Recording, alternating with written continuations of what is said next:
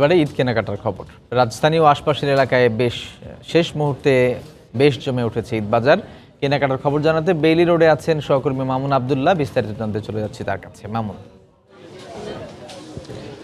সাজিদ, আপনি জানেন যে মুসলমানদের সবচেয়ে বড় ধর্মীয় উৎসব ঈদ উল ফিতর, কিন্তু খুবই সন্নিকটে। শেষ মুহূর্তে আসলে রাজধানীতে কেনাকাটা চলছে। এর আগে নিউজগুলোতে যেমন বলেছিলাম যে, শেষ মুহূর্তে আসলে এখন মেয়েদের আসলে প্রসাধনী কেনাকাটার দিকেই একটু বেশি মনোযোগ এবং তারা আসলে তাদের গহনার সাথে এবং তাদের থ্রি পিস এবং জামার সাথে ম্যাচিং করে বিভিন্ন ধরনের ধরনের আপনার কেনাকাটা করছেন।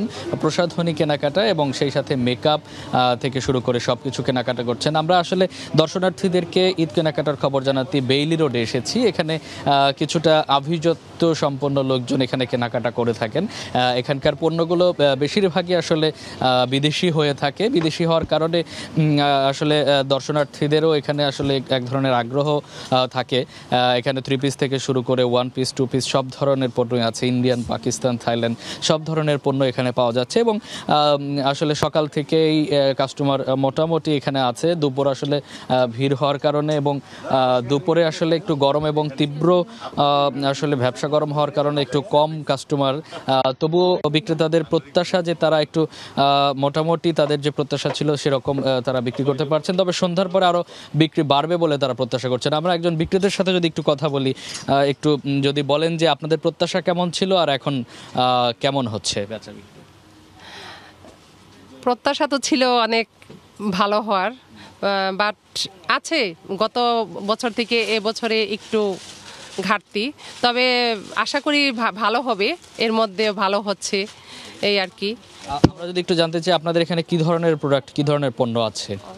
এখানে আমাদের এখানে পাকিস্তানি এক্সক্লুসিভ ড্রেস আছে ইন্ডিয়ান ড্রেস আছে তারপরে এখানে আমাদের এখানে আরও ই আছে আপনার দিল্লি থেকে বোম্বে থেকে বুটিক্স আছে পাকিস্তানি বুটিক্স আছে গাউন আছে বোম্বাইয়ের।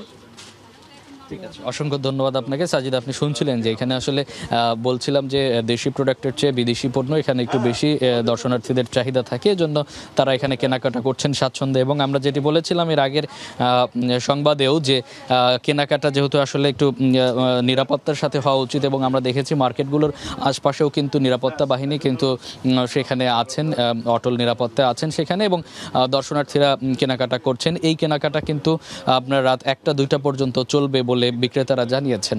তো সাজেদ, এই ছিল আমার কাছে কেনাকাটার সবশেষ খবর। রাজধানীর ঈদ কেনাকাটার খবর জানছিলাম। সহকর্মী মামুন আবদুল্লাহ